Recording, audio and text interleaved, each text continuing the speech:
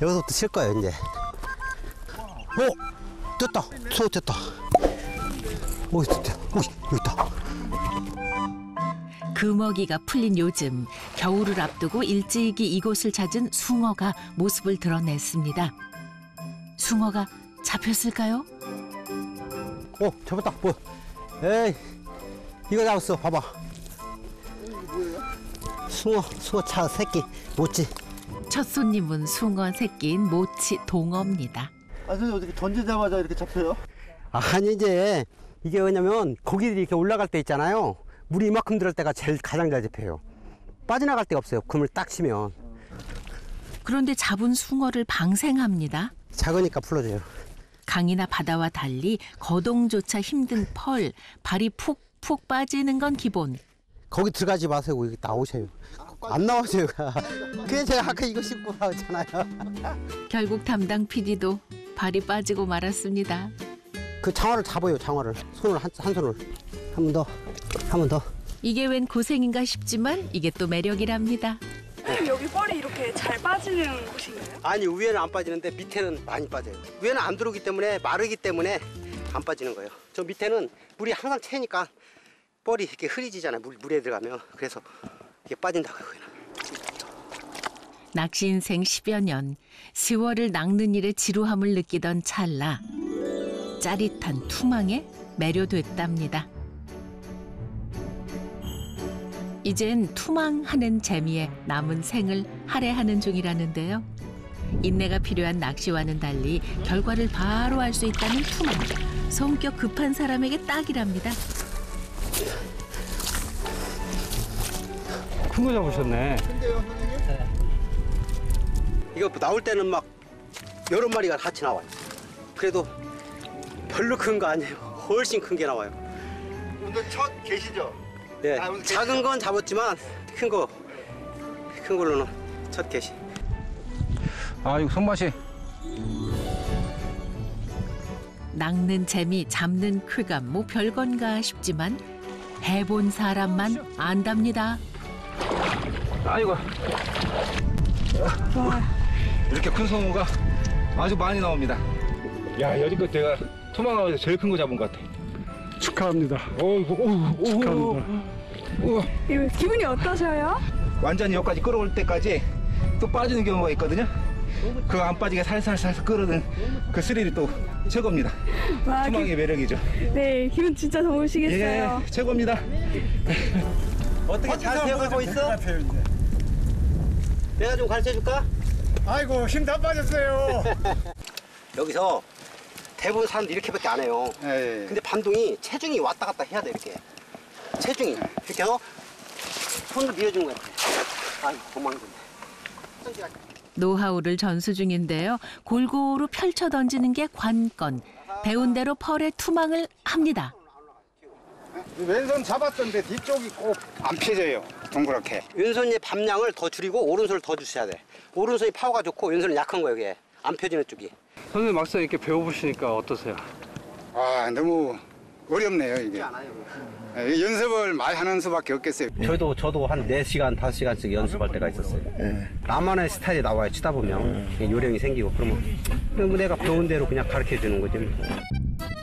체력도 정신력도 요하는 투망.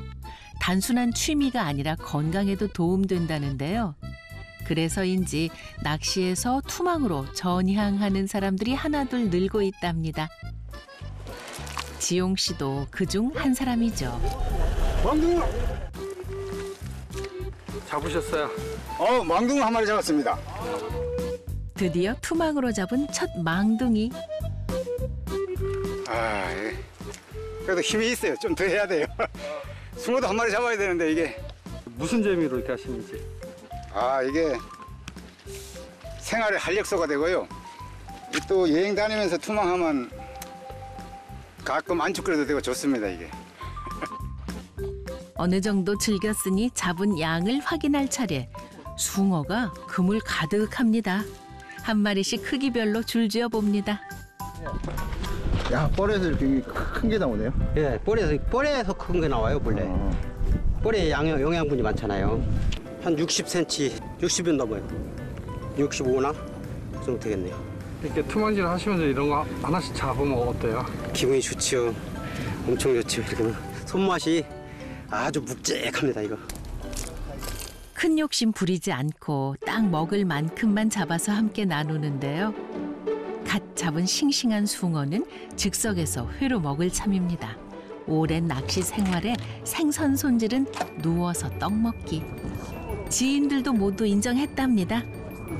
초장하고 이렇게 이렇게, 이렇게 비벼가지고 물에 먹으면은 한마디로 죽입니다, 죽여.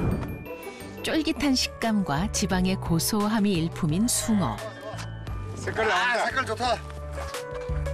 다른 게 뭐가 필요할까요? 그저 싱싱한 회 한 접시에 상큼한 초장만 있어도 임금님 수라상도 부럽지 않죠. 아, 이거 개숭하고 맛붙이면 우리 우리 전번에 맛있어 이 맛이야. 입안 가득 퍼지는 바다의 맛. 맛있다.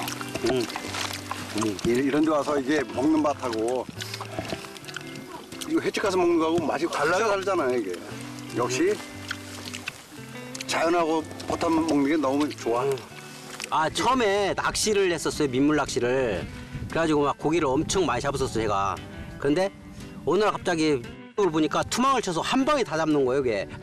그래서 아 투망 이게 매력이 있겠다 해서 열심히 연습한 결과 지금 이제 좀 어느 정도 수준에는 올라와 있어요 제가. 하다 보니까 그리고 이제 이렇게 모여서 술 먹고 같이 회원들끼리 뭐 회 먹고 야, 음식을 해 먹고 이런 게 재밌더라고요 아, 뻘투망이 힘들지만 열심히 연습해서 음, 대승으로 잡는 그날까지 열심히 하겠습니다.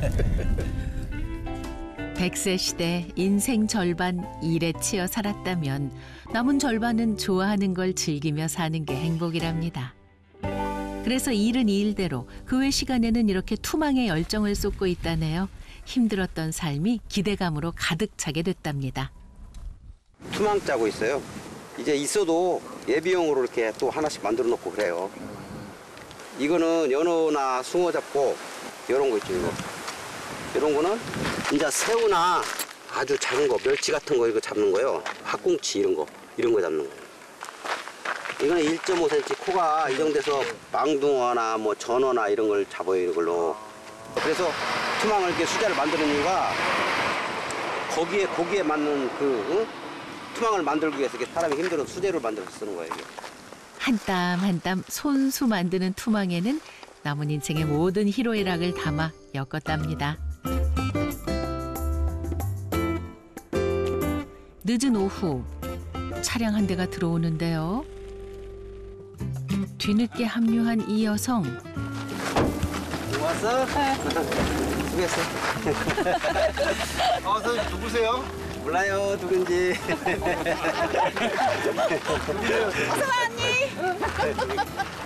제 와이프인데 직장 때문에 인제 왔어요. 예, 뭐 투망도 좋아하고 서로 투망을 이렇게 즐기면서 캠핑도 많이 다니고 그래요. 근데 나 밥을 너무 시켜요. 내가 밥 퍼느냐고 투망을 못 쳐요. 결론은. 투망 한번 치러 가야지. 주말이면 남편과 전곡을 누비면서 투망을 즐긴다는 아내 승희 씨. 그동안 이거 못 하셨죠? 예, 못했어요. 지난번 한번 저기 그때 비인해번 가서 좀 연습하고 못했어요. 이걸 해라고? 나 했던 걸 안 하고? 그거 안 갖고 왔어? 그거 저안 퍼져. 안 퍼지고 이거 아, 무거운데? 이게 아니 충분해. 걱정 그걸 마. 왜 자기가 접어? 내가 접어야지. 저로. 승희 씨의 든든한 조력자이자 투망 동반자인 남편.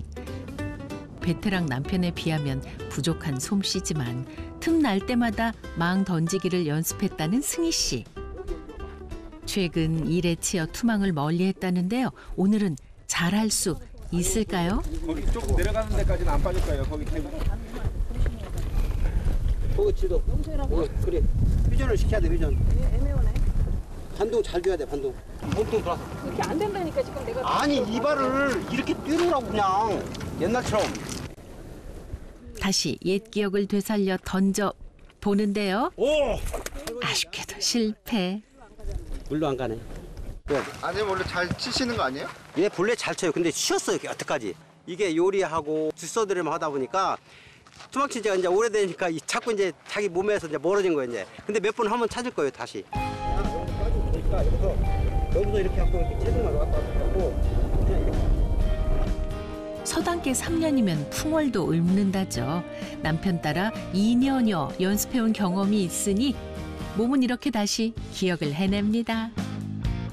잘했어. 기분은 좋은데요. 내가 뻘에서 처음 던져봤어. 제가 아마 이, 이 막 작업복도 아닌 거 입고서 힘드는 게 내가 용감한 것 같아요. 하루의 피로를 투망에 담아 던져버리는 시간. 건강하지 않았다면 이런 낭만도 즐거움도 모르고 살았겠죠. 참 다행이란 생각이 듭니다. 손맛 좋기로 유명한 승희 씨. 오늘 잡았다는 망둥이로 요리 실력 뽐내볼 생각입니다. 집에서 준비해온 재료로 육수를 내고 싱싱한 망둥이를 듬뿍 넣습니다. 몇 번 끓여줬더니 맛있다고 내가 끓여줘야 된대요. 요번에는 제가 늦게 와갖고 다른 분들이 잡은 걸 갖고 제가 매운탕을 끓이지만 다음에는 내가 도 직접 잡은 걸 한번 끓여보고 싶은 게 제 소망이에요. 사람들과 투망을 즐기다 보니 자연스레 요리 담당이 된 승희 씨. 제철 따라 잡히는 물고기에 맞춘 매운탕 맛은 나날이 발전해서 한 번 맛보면 자꾸 생각나게 만든다네요. 자, 건더기는 거. 자, 고기가 좀 약간 좀 들어가서 와, 이거 중국이에요. 형수님 사랑합니다. 미투요. 와 우리 매운탕에 내가 와 우리 형수님 와 매운탕은 하나는 끝내줍니다 진짜로 와 매운탕만?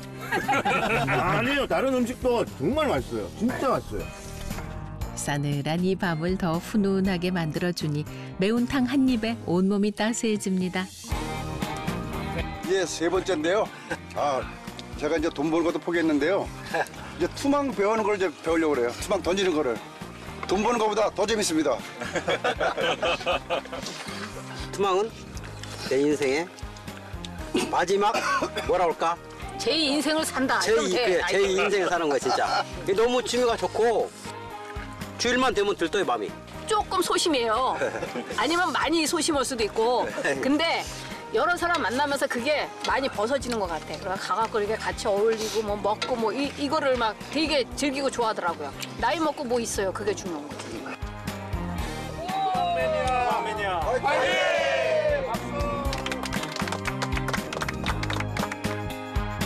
나이는 숫자에 불과하다죠. 늦었다고 생각할 때가 가장 빠른 때라고도 하고요. 피할 수 없으면 즐기라는 말처럼 나이를 잊고 즐기다 보면 행복 앞에 성큼 다가가 있지 않을까요?